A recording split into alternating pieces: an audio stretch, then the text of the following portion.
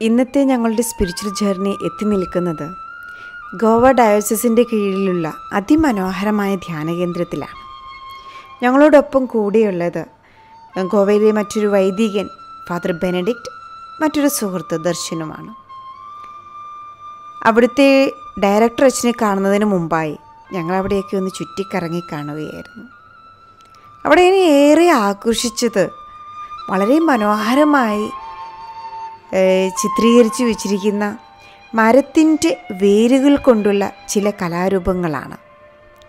നമ്മളൊക്കെ പാഴായി തള്ളിക്കളയുന്ന അതല്ല എങ്കിൽ വെട്ടിക്കീറി വിറകാക്കി കത്തിച്ച് കളയുന്ന ചില മരത്തിന്റെ വേരുകൾ അവർ മനോഹരമായി പോളിഷ് ചെയ്ത് അതിമനോഹരമായിട്ട് നല്ലൊരു കലാസൃഷ്ടി കലാരൂപമാക്കി വെച്ചിരിക്കുന്നത് കണ്ടപ്പോൾ വല്ലാത്തൊരു ആകർഷണം തോന്നിപ്പോയി.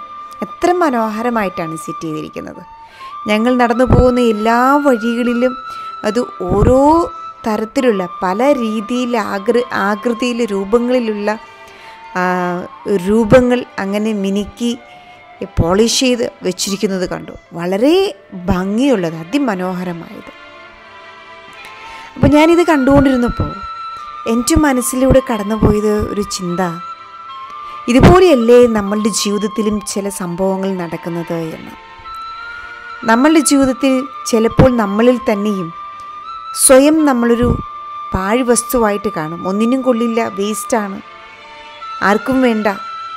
എന്തിനാണ് ദൈവം എന്നെ പാഴായി സൃഷ്ടിച്ചിരിക്കുന്നത് എന്നൊക്കെ പറഞ്ഞ് സ്വയം ഒരു കോംപ്ലക്സ് വരുത്തി തീർത്ത് ഒതുങ്ങി തീർത്ത് ഒതുക്കി തീർക്കാനൊക്കെ നമ്മൾ ശ്രമിക്കാറുണ്ട്. നോക്കിയേ ഈ വേരിനെയൊക്കെ ആർക്കും വേണ്ടാത്ത തള്ളിക്കളയുന്ന എത്രയോ പേരുണ്ടല്ലേ? പക്ഷേ ഇതിന്റെ സൗന്ദര്യം ഇതിന്റെ ഭംഗി മനോഹാരിതയൊക്കെ കണ്ടറിഞ്ഞ് തിരിച്ചറിഞ്ഞ് അവരെത്ര ഭംഗിയോടുകൂടിയാണ് അവിടെ ഒരു നല്ലൊരു ആർട്ടായിട്ട് ഒരു കലാസൃഷ്ടിയായിട്ട് മറ്റുള്ളവരുടെ ഹൃദയത്തെ കവരുവാനുള്ള സൗന്ദര്യം കൊടുത്തുകൊണ്ട് അവിടെ വെച്ചിരിക്കുന്നത്. ഇതുപോലെ നമ്മളുടെ ജീവിതത്തിലും പല സമയങ്ങളിലും നമുക്ക് തന്നെയും നമ്മുടെ ചില കഴിവുകളിൽ നമുക്ക് സൗന്ദര്യം നൽകാൻ പറ്റും. പക്ഷേ നമുക്ക് പറ്റിപ്പോകുന്നത് എന്താണെന്നറിയാവോ? നമ്മൾ സ്വയം പഠിക്കും. ഞാനൊന്നിനും കൊള്ളില്ല. എനിക്ക് പാട്ട് പാടാനറിയില്ല എനിക്ക് ഡ്രോയിങ് അറിയില്ല. എനിക്ക് സംസാരിക്കാൻ അറിയില്ല. എനിക്ക് ബിസിനസ് ചെയ്യാൻ അറിയില്ല. എനിക്ക് പെരുമാറാൻ അറിയില്ല. എന്നൊക്കെ പറഞ്ഞിട്ടുള്ള സ്വയം ഒരു വിലയിരുത്തലുകൾ നടത്തി നമ്മൾ സ്വയം നമ്മളെ തന്നെ ഇടിച്ചു താഴ്ത്തുകയാണ് ചെയ്യുന്നത്. അല്ലേ? നമുക്ക് പാട്ടുപാടാൻ അറിയില്ല എങ്കിൽ നമുക്ക് പടം വരയ്ക്കാൻ അറിയാം. ഒരുപക്ഷെ നമുക്ക് പടം വരയ്ക്കാൻ അറിയില്ലെങ്കിൽ നന്നായിട്ട് സംസാരിക്കാൻ അറിയാം നന്നായിട്ട് സംസാരിക്കാൻ അറിയില്ലെങ്കിൽ ഒന്ന് മനോഹരമായിട്ട് പുഞ്ചിരിക്കാൻ അറിയാം ഇല്ലേ? ഒരിച്ചിരി സ്നേഹിക്കാൻ അറിയാം എല്ലാവർക്കും ഒരുപോലെ ഒരുപാട് കഴിവുകൾ ഉണ്ടാവണമെന്നില്ലല്ലോ. ഓരോരുത്തർക്കും ഓരോ തരത്തിലാണ് ചിലപ്പോൾ എന്റെ കഴിവുകളും നിങ്ങളുടെ കഴിവുകളും തമ്മിൽ ഒരുപാട് വ്യത്യാസങ്ങളുണ്ടാവാം. പക്ഷേ നമ്മൾ എന്താ ചെയ്യണേന്നറിയാവോ? നമ്മുടെ ഉള്ളിലുള്ള കഴിവുകൾ തിരിച്ചറിയാതെ നമ്മൾ മറ്റുള്ളവരുടെ കഴിവിലേക്ക് നോക്കിയിട്ട് എനിക്കതില്ലല്ലോ എനിക്കതില്ലല്ലോ എന്ന് പറഞ്ഞ് വിഷമിക്കുകയാണ് ചെയ്യുന്നത്. പലരും ചോക്കുമലയെ കയറിയിരുന്ന് ചോക്ക് തേടിക്കൊണ്ടിരിക്കുകയാണ്. മരണം വരെയും തേടിക്കൊണ്ടിരിക്കുകയാണ് ചെയ്യുന്നത്. പക്ഷേ നമ്മൾ ആ ചോക്കുമലയുടെ മുകളിലാണ് ഇരിക്കുന്നതെന്ന് ഒരിക്കലും തിരിച്ചറിയാതെ പോകുന്ന പലരുടെയും ജീവിതത്തിൽ അങ്ങനെ സംഭവിച്ചു പോകുന്നത് ഞാൻ കണ്ടിട്ടുണ്ട് കേട്ടോ. അതുകൊണ്ട് തന്നെ ഞാൻ പറയാൻ ആഗ്രഹിക്കുന്നത് എന്താണെന്ന് വെച്ചാൽ നമ്മളുടെയൊക്കെ ജീവിതത്തിൽ ഒരുപാട് നല്ല കാര്യങ്ങൾ നല്ല മനോഹാരിതയുള്ള വളർത്തിയെടുക്കാൻ പറ്റുന്ന ഒരുപാട് കഴിവുകൾ ദൈവം സൃഷ്ടിച്ചു തന്നിട്ടുണ്ട്. ആരെയും പാഴാക്കി വളർത്തിയിട്ടില്ല. അത് നമ്മൾ കണ്ടെത്തി വളർത്തിയെടുക്കുവാനാണ് നോക്കേണ്ടത്. അതല്ലാതെ മറ്റുള്ളവരുടെ കഴിവിലേക്ക് നോക്കി നെടുവീർപ്പിട്ട് എനിക്കില്ലല്ലോ അതില്ലല്ലോ എന്ന് ചിന്തിച്ച് വിഷമിച്ച് നിരാശപ്പെട്ടിരിക്കില്ലേ? എന്താണോ എന്നിലുള്ള കഴിവ്. ഒന്ന് പുഞ്ചിരിക്കാനുണ്ടെങ്കിൽ അത് മതിയെന്നേ. ഒന്ന് സ്നേഹിക്കാൻ അറിയെങ്കിൽ അത് മതിയെന്നേ. ഒന്ന് സംസാരിക്കാൻ അറിയെങ്കിൽ അത് മാത്രം മതിയെന്നേ. മനുഷ്യരോടൊരിത്തിരി സ്നേഹത്തോടെ ഇടപെടാൻ പറ്റുവാണെങ്കിൽ അത് മതിയെന്നേ. നമുക്ക് വളരാനായിട്ട്. നമുക്ക് മറ്റുള്ളവർക്ക് നന്മ ചെയ്യാനായിട്ട് ഞാൻ ഞാനായിട്ട് ജീവിക്കാനായിട്ട് എന്നിലെ സൗന്ദര്യം മറ്റുള്ളവർക്ക് കാണിച്ചു കൊടുക്കുവാനായിട്ട് ആ ഒരു കഴിവ് മാത്രം മതി. ഇത് കണ്ടുകൊണ്ടിരുന്നപ്പോൾ എന്നെ അതാ സ്വാധീനിച്ചത്. എനിക്ക് പുതിയൊരു ചിന്തയായിരുന്നു. അപ്പോഴും ഞാൻ ചിന്തിച്ചു പോയത് എന്തൊക്കെ കഴിവുകളല്ലേ നമ്മുടെ ജീവിതത്തിൽ ഒളിഞ്ഞു കിടക്കുന്നത്? ഇതുപോലെ തേച്ച് മിനുക്കി പോളിഷ് ചെയ്ത് നമുക്ക് ഈ ലോകത്തിനും കുടുംബത്തിനും നമുക്ക് വേണ്ടിയും തന്നെയൊക്കെ ഒന്ന് പുതുക്കിയെടുത്ത് റെഡിയാക്കി എടുക്കാം കേട്ടോ? അങ്ങനെ ഞങ്ങൾ ഈ സൗന്ദര്യമൊക്കെ ആസ്വദി ഈ- ധ്യാന കേന്ദ്രത്തിന്റെ മനോഹാരിതയും സൗന്ദര്യമൊക്കെ ആസ്വദി ആസ്വദിച്ച് കണ്ട് നടന്ന് നീങ്ങവേ അവിടുത്തെ ധ്യാന കേന്ദ്രത്തിലെ ഡയറക്ടറേറ്റിനെ ഞങ്ങൾ കണ്ടു സംസാരിക്കുകയായിരുന്നു. ഞങ്ങൾ നിൽക്കുന്നത് ക്രൂസ്തോസ് മിലാഗ്രസ് ഹില്ലിലാണ്. ഇത് ഗോവ ദമൻ ഡയസിസിന്റെ കീഴിലുള്ള ഒരു ധ്യാന കേന്ദ്രമാണ് ധ്യാന കേന്ദ്രത്തിന്റെ പേര് തന്നെ വിശുദ്ധനായ ജോസഫ് വാസ് പുണ്യവാളന്റെ നാമത്തിലാണ്. ഞങ്ങൾ ബെനഡിക്റ്റ് അച്ഛനുമായി ഇവിടെ വന്നു കഴിഞ്ഞപ്പോൾ ഭാഗ്യത്തിന് ഈ ധ്യാന കേന്ദ്രത്തിന്റെ ഡയറക്ടർ അച്ഛൻ ഇറങ്ങി വന്നു. Father Henry Falcao. ഇവിടെ വന്ന ഉടനെ തന്നെ അദ്ദേഹത്തോട് ഞങ്ങളുടെ കൂടെയുള്ള അച്ഛൻ ചോദിച്ചു ഇതിന്റെ ഹിസ്റ്ററി ഒന്ന് പറഞ്ഞു തരാമോ എന്ന്. വളരെ സ്നേഹത്തോടും ആദരവോടും ഒരു പുരോഹിതനുണ്ടായിരിക്കേണ്ട പൂർണ വിനയത്തോടും അദ്ദേഹം അവിടെ നിന്ന് എല്ലാ കാര്യങ്ങളോടും ഞങ്ങളോട് പറഞ്ഞു തരികയുണ്ടായി. അദ്ദേഹം പറഞ്ഞു ഗോവ പ്രത്യേകിച്ച് ഓൾഡ് ഗോവ എന്ന് പറയുന്ന ഈ ഏരിയ ഒരു അഞ്ചാറ് കിലോമീറ്റർ ചുറ്റളവിൽ മുപ്പത്തി എട്ട് ദേവാലയങ്ങൾ ഉണ്ടായിരുന്ന സ്ഥലമായിരുന്നു. പലപ്പോഴും നാട്ടുകാർ വിളിച്ചിരുന്നത് റോം ഓഫ് ദി ഈസ്റ്റ് എന്നാണ്. ഈസ്റ്റിലെ റോമാണ് ഈ ഓൾഡ് ഗോവ എന്നത്. പക്ഷെ അത്രയും മനോഹരമായിരുന്ന അത്രയും ആധ്യാത്മിക നിലനിന്നിരുന്ന ഈ നാട് അല്ലെങ്കിൽ ഈ ഓൾഡ് ഗോവയിൽ ഇപ്പോൾ വെറുമോ വെറും പതിമൂന്ന് പള്ളികൾ മാത്രമാണുള്ളത്. അതിലും മുഴുവനുമായി എല്ലാ ഫങ്ഷനോടുകൂടിയും ഉള്ള പള്ളികൾ വീണ്ടും കുറവാണെന്ന് പറയുന്നു. നമ്മൾ ഈ നിൽക്കുന്ന ഈ മലയുടെ മുകളിൽ ഒരു വലിയ ചരിത്ര പശ്ചാത്തലമുണ്ട് എന്ന് പറഞ്ഞ് അച്ഛൻ പറയുകയുണ്ടായി. ആയിരത്തി അറുന്നൂറ്റി പത്തൊമ്പതിൽ ആട്ടിടയന്മാർ ഈ മലയിലേക്ക് ആടുകളെ മേയ്ക്കാൻ വന്നപ്പോൾ തെങ്ങിന്റെ മട്ടലുകൊണ്ട് ഒരു കുരിശുണ്ടാക്കി ആ മലയിൽ നാട്ടി. പക്ഷേ അത്ഭുതം സംഭവിച്ചത് അന്ന് ആ കുരിശ് നാട്ടി അല്പം കഴിഞ്ഞപ്പോൾ ആകാശത്തിലൂടെ ആ കുരിശിന്റെ ചുറ്റും റെഡ് ഫ്ലാഗ് അങ്ങോട്ടും ഇങ്ങോട്ടും പാറി നടന്നത് ഒരുപാട് പേര് കാണാനിടയായി എന്നാണ്. മാത്രമല്ല അന്ന് രാത്രി ആകാശത്തു നിന്നും ചെറിയ ചെറിയ നക്ഷത്രങ്ങൾ അടർന്ന് നക്ഷത്രങ്ങളെപ്പോലെയുള്ള വെളിച്ചം അടർന്ന് ഈ കുരിശിന്റെ മുകളിലേക്ക് വീഴുന്നതായും ഒരുപാട് പേര് കണ്ടെന്ന് സാക്ഷ്യപ്പെടുത്തി. അങ്ങനെ സാക്ഷ്യപ്പെട്ട് കഴിഞ്ഞപ്പോൾ പിറ്റേന്ന് രാവിലെ ജനങ്ങൾ ഓടിക്കതച്ച് ആ മലമുകളിൽ എത്തിയപ്പോൾ മൂന്ന് യാർഡ് വലുപ്പമുണ്ടായിരുന്ന കുരിശ് അഞ്ച് യാർഡായി ഉയർന്നു എന്നാണ് പറയപ്പെടുന്നത്. ഈ വിഷയം ആ നാട്ടിൽ മുഴുവനും അറിഞ്ഞു. ഒരു കാട്ടുതീ പോലെ അത് പടർന്നു. അങ്ങനെ ആ നാടിന് മിറാക്കിൾ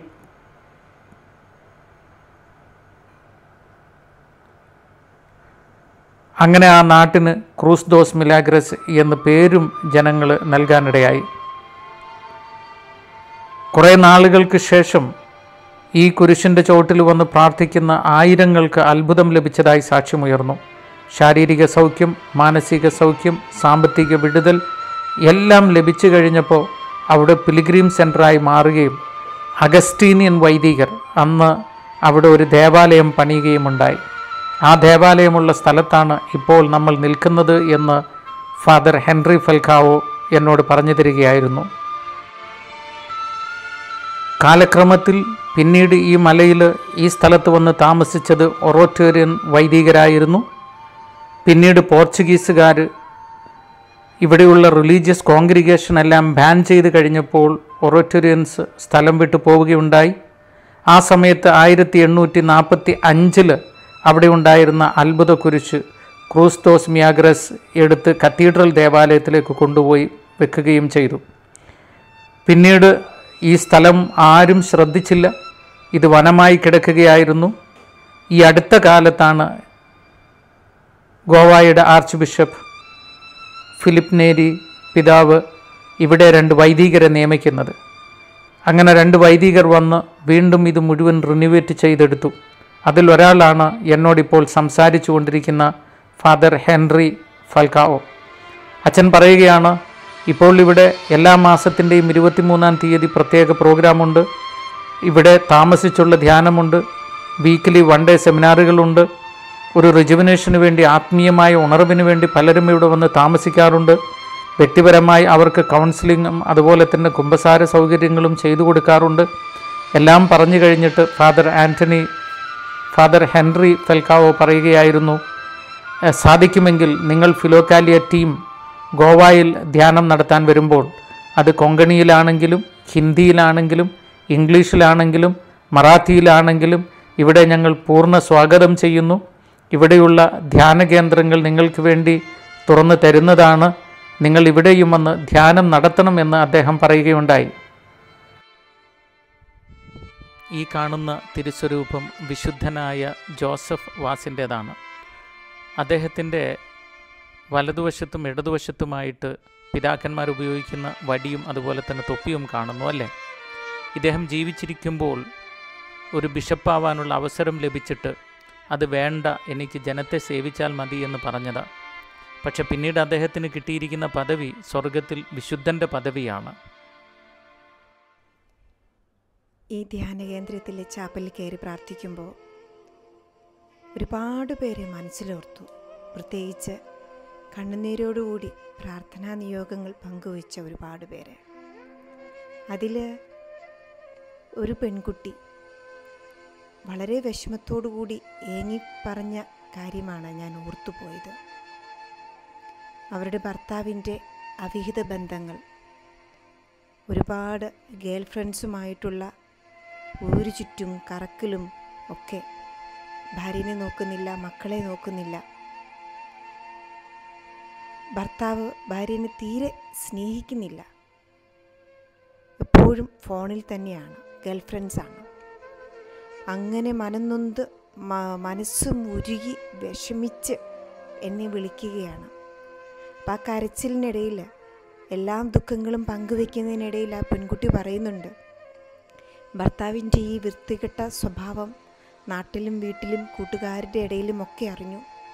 എന്നിട്ട് എന്റെ ഒരു ഉറ്റ കൂട്ടുകാരി എന്നോട് വിളിച്ച് ചോദിച്ചു നീ വളരെ ചെറുപ്പമല്ലേ? എന്തിനാ അയാളെ സഹിക്കുന്നത്? എന്തിനാ അയാൾക്ക് നീ ഭാര്യയായിട്ടിരിക്കുന്നത്? എത്ര സുന്ദരിയാണ് നീ. നിനക്ക് ജോലിയുമുണ്ടല്ലോ. നീ അദ്ദേഹത്തെ ഡിവോഴ്സ് ചെയ്തിട്ട് വേറൊരു കല്യാണം കഴിച്ച് സന്തോഷത്തോടു കൂടി ജീവിച്ചുകൂടെ? എന്ന് ആ എന്റെ കൂട്ടുകാരി ചോദിച്ചു എന്ന് പറഞ്ഞു. അപ്പോൾ ഞാനും അവളോട് ചോദിച്ചു ആ പെൺകുട്ടിയുടെ അല്ലെങ്കിൽ ആ കൂട്ടുകാരിയുടെ ചോദ്യത്തിന് മോൾ എന്താണ് മറുപടി പറഞ്ഞത് എന്ന്. അപ്പോൾ അവൾ എന്നോട് പറഞ്ഞത് ഇങ്ങനെയാണ്. ചേച്ചി എന്റെ ഭർത്താവിന് ഒരു ക്യാൻസർ രോഗമാണ്. ശരീരത്തിന്റെ ഏതെങ്കിലും ഒരു ഭാഗത്ത് ക്യാൻസർ രോഗം ബാധിച്ചിട്ടുണ്ട് അർബുദം ബാധിച്ചിട്ടുണ്ട് എന്ന് ഞാൻ അറിഞ്ഞിട്ട് അല്ലെങ്കിൽ അത് കേൾക്കുമ്പോൾ അല്ലെങ്കിൽ കാണുമ്പോൾ ഞാൻ എന്താ ചെയ്യുക? ഞാൻ പോയി ട്രീറ്റ്മെന്റ് നടത്തുക അല്ലേ ചെയ്യുക ഹോസ്പിറ്റലിൽ കൊണ്ടുപോവുകയല്ലേ ചെയ്യുക ശരീരത്തിൽ ഏതെങ്കിലും ഒരു കോണിലായിരിക്കില്ലേ അസുഖം ബാധിച്ചിരിക്കുക എന്ന് കരുതിയിട്ട് ആ ചെറിയൊരു ശരീരത്തിന്റെ ഏതോ ഒരു കോണിലെ ഒരു അംശത്തിൽ അർബുദം ബാധിച്ചു എന്ന് കരുതിയിട്ട് ഞാൻ ആ ശരീരത്തെ മുഴുവനും തള്ളിക്കളയേണ്ട ആവശ്യമില്ലല്ലോ ചേച്ചിയെ. അതുപോലെ തന്നെയാണ് എന്റെ ഭർത്താവിന് ഭർത്താവിന്റെ ഹൃദയത്തിൽ എവിടെയോ ചെറിയൊരു കറ വീണിട്ടുണ്ട്. അത് ചെറിയ സ്ത്രീ സുഖത്തിന്റെ കറയാണ്. പക്ഷേ എന്നിരിക്കെ ഞാൻ അദ്ദേഹത്തെ തള്ളിക്കളയില്ല ചേച്ചിയെ. അർബുദം ബാധിച്ച് ക്യാൻസർ ബാധിച്ച എന്റെ ഭർത്താവിനെ ഞാൻ എങ്ങനെ സംരക്ഷിക്കാൻ ആഗ്രഹിക്കുന്നുവോ? അതുപോലെ ഈ ഒരു സ്ത്രീ സുഖം തേടിപ്പോകുന്ന ആ ഒരു അസുഖം ബാധിച്ച എന്റെ ഭർത്താവിനെ ഞാൻ സംരക്ഷിക്കാൻ തന്നെ തീരുമാനിച്ചു. എനിക്കറിയാം എനിക്ക് ഞാൻ ആഗ്രഹിക്കുന്ന പോലെ സ്നേഹം എന്റെ ഭർത്താവിൽ നിന്ന് കിട്ടില്ല എന്ന്. മൊത്ത ചുറ്റുപാടും നാണക്കേടാ ഉണ്ടാവുക ഒറ്റപ്പെടല ഉണ്ടാവുക. സങ്കടം മാത്രമേ ഉണ്ടാവുകയുള്ളൂ. ദിവസവും കഥ കടച്ചിരുന്ന് കരയാൻ മാത്രമേ എനിക്ക് പറ്റുകയുള്ളൂ എന്ന് എനിക്കറിയാം ചേച്ചിയെ. പക്ഷേ എങ്കിലും ഞാൻ തള്ളിക്കളയില്ല. ദൈവം ചേർത്തു വെച്ചതാ. അദ്ദേഹത്തെ മാനസാന്തരപ്പെടുത്താൻ എനിക്ക് കഴിയും. എന്റെ സ്നേഹം സത്യമാണ്. ആ സത്യമായ സ്നേഹത്തിൽ നിന്നുകൊണ്ട് തന്നെ ഞാൻ അദ്ദേഹത്തെ ഇനിയും ഇനിയും ചങ്കോട് ചങ്കോട് ചേർത്ത് സ്നേഹിക്കും ചേച്ചിയെ. ആ സ്നേഹത്തെ ആ സ്നേഹം കൊണ്ട് അദ്ദേഹത്തെ സുഖപ്പെടുത്താൻ പറ്റുമെന്ന് എനിക്ക് ഉറപ്പുണ്ട്. ഞാൻ എന്റെ ഈശോയുടെ മത പ്രാർത്ഥിക്കുന്നത് എന്റെ സത്യമായ സ്നേഹം കൊണ്ട് അദ്ദേഹത്തിനൊരു മാനസാന്തരം കൊടുക്കണമേ എന്ന്. അതിനുവേണ്ടി കാത്തിരിക്കുകയാണ് ചേച്ചിയെ. എന്ന് പറഞ്ഞു ആ കുട്ടിയുടെ നിഷ്കളങ്കമായ കണ്ണുനീരോടിൽ കൂടിയുള്ള ഈ വാക്ക് കേട്ട് ഞാൻ തന്നെ അത്ഭുതപ്പെട്ടിരുന്നു പോയി. എത്ര നല്ല മനസ്സാണല്ലേ. അതിനുശേഷം രണ്ട് മൂന്ന് വർഷങ്ങൾക്ക് ശേഷം ആ പെൺകുട്ടി വീണ്ടും എന്നെ വിളിച്ചു. എന്നിട്ട് രണ്ടുപേരും കൂടെ വന്നു ഭർത്താവും ഭാര്യയും ചേർന്നു. എത്ര സന്തോഷമായിരുന്നു എന്നറിയാവോ അവരെ കാണാനായിട്ട്. സത്യം പറയട്ടെ ആ പെൺകുട്ടിയുടെ നിഷ്കളങ്ക സ്നേഹവും സത്യസന്ധമായ സ്നേഹവുമാണ് അദ്ദേഹത്തിനൊരു മാനസാന്തരത്തിന് ഇടയാക്കിയത്. അവരിപ്പോൾ നല്ലൊരു ജീവിതം നയിക്കുന്നു. അതുകൊണ്ട് ഈ ഒരു അവിഹിത ബന്ധങ്ങളാൽ ഏതെങ്കിലും ഒരു ജീവിത പങ്കാളി മാര് വിഷമിക്കുന്നുണ്ടെങ്കിൽ തന്റെ പങ്കാളി എന്തെങ്കിലും അവിഹിതമായ ബന്ധത്തിൽപ്പെട്ട് കഷ്ട പോയി എന്ന് കരുതിയിട്ട് വേദനിക്കുന്നുണ്ടെങ്കിൽ സങ്കടപ്പെടേണ്ട കേട്ടോ. ഒക്കെയും നമ്മുടെ വേദന അറിയുന്ന ദൈവത്തിന്റെ മുമ്പിൽ നമുക്ക് സമർപ്പിക്കാം. ക്ഷമയോടെ നമുക്ക് കൈകാര്യം ചെയ്യാം. അളവില്ലാതെ നമുക്ക് ഭർത്താവിനെ സ്നേഹിക്കാം. പിറുപിറുക്കാതെ പരാതി പറയാതെ നമ്മുടെ വേദനകളൊക്കെ നമ്മുടെ തമ്പ്രാന്റെ മുമ്പിൽ ഇറക്കി വയ്ക്കാം തമ്പ്രാനോട് പറയാം തമ്പ്രാന് പറ്റാണ്ട് പോകണുണ്ട് കേട്ടോ.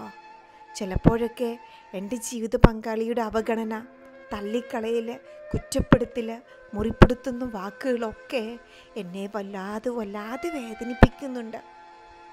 രാത്രിയിൽ കിടക്കുമ്പോൾ എന്നെ ഒന്ന് കെട്ടിപ്പിടിച്ചിരുന്നുവെങ്കിൽ എന്നെ ഒന്ന് തലോടിയിരുന്നുവെങ്കിൽ എന്റെ കണ്ണുനീരൊന്ന് തുടച്ചിരുന്നുവെങ്കിൽ എന്ന് കരുതുന്ന നിമിഷങ്ങൾ ഉണ്ടായിട്ടുണ്ട് ഈശോയെ. പക്ഷേ ഞാൻ വിചാരിച്ചതുപോലെ ഒന്നും നടക്കാറില്ല. എപ്പോഴും നിരാശ മാത്രമാണ് സങ്കടം മാത്രമാണ്.